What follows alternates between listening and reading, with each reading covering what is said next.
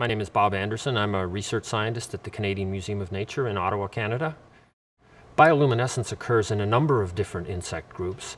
Um, probably the main group that it occurs in are, are, the beetles. It also occurs in the flies, as well as some other groups of, of creatures that are related to insects, like millipedes and some scorpions as well. Bioluminescence works usually through a chemical reaction that takes place within a particular organ within an insect body.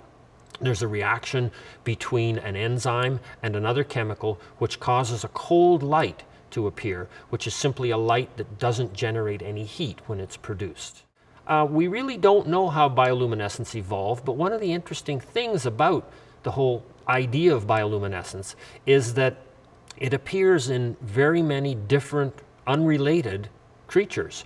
And because of that, it's probably been developed a number of times throughout the history of life. There's one instance of bioluminescence which has stuck out in my mind and made a real lasting impression on me, and that was in the uh, rainforest in Costa Rica at the La Selva Biology Station. There are these beetles that fly along the trails at night that are bioluminescent.